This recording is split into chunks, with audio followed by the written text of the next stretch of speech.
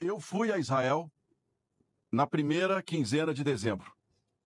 E eu gostaria que os senhores senadores, todos que estão aqui, antes de qualquer pronunciamento, fossem até a região que eu visitei, juntamente com parlamentares brasileiros, para entenderem com clareza o que levou aos ataques em Gaza. Eu vi casas de famílias com brinquedos totalmente queimados por bombas. Eu vi sangue de pessoas queimadas vivas dentro de banheiros. Eu vi cenas de centenas de mulheres estupradas em nome de uma religião. Eu vi cenas de dezenas, talvez centenas de soldados com cabeças decapitadas. Eu vi cenas de pessoas jogando terroristas, jogando bola com cabeça de judeus. Eu vi isso em Gaza. Quando vem falar aqui que o povo palestino todo sofre, é tão desonesto e tendente como o presidente da República.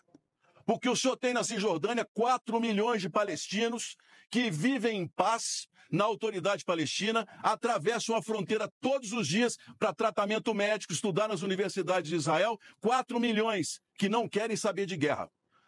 Em Dubai, durante a COP, os sunitas com quem visitei e conversei, perguntaram o tempo todo por que, que o Brasil está tão defendendo esse grupo Hamas xiita, que nós não queremos ninguém deles aqui. No Egito, onde o presidente fez um discurso totalmente fora da realidade. O Egito abriu a fronteira para os xiitas do Hamas e o Egito sofreu uma série de atentados. Um deles, inclusive, uma bomba na Catedral Copta Cristã, onde centenas, 110 pessoas morreram. Depois, um atentado no, no balneário Sharm el-Sheikh, patrocinado pelo Hamas. O que, que o Egito fez? O Egito fez uma fronteira, um muro enorme em Gaza, porque não são os palestinos de Gaza, chama-se Grupo Hamas. No dia que o Hamas for eliminado, os palestinos sim terão uma pátria e poderão ter um Estado. Não há proporcionalidade, senhor presidente.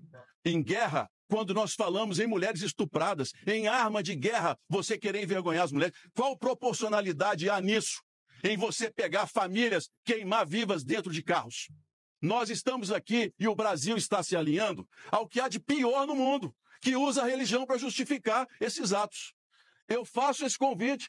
Vão a Israel para os senhores visitarem os kibbutz, para os senhores entenderem o que, é que está acontecendo lá em Gaza. E vão do outro lado da Cisjordânia, onde a Autoridade Nacional Palestina existe, para que vocês entendam qual é a relação verdadeira que existe entre Israel e o povo palestino. Israel hoje está fazendo aquilo que o mundo não quis fazer: doações, milhões, bilhões de dólares, usados para comprar arma da Coreia do Norte, da Rússia, para fazer túnel, e o Brasil quer aumentar a contribuição. O presidente Lula, ao meu ver, demonstrou falta de equilíbrio para comandar o país, que é um país que sempre propôs acordos de paz. Esse, essa é a nossa realidade. É muito fácil para nós, que não temos nenhum vizinho como tem o Hamas na Israel, poder fazer qualquer julgamento.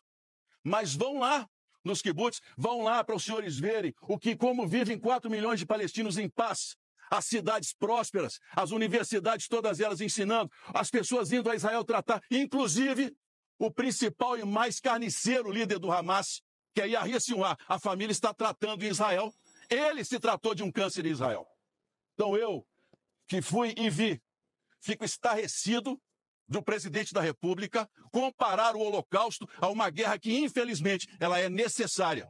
Morreram 30 mil, senador Jacques Wagner. No meio desses, quantos são terroristas do Hamas? Sabe por quê? Porque eles não usam farda.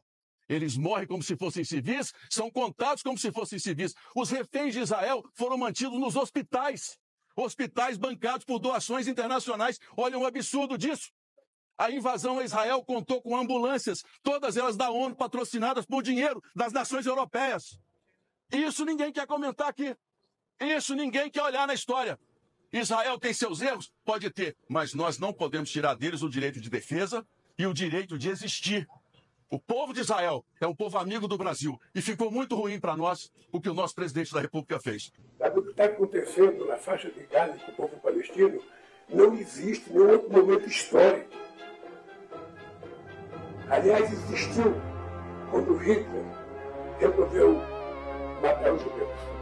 Quando Hitler, quando Hitler resolveu, matar os judeus. Matar os judeus.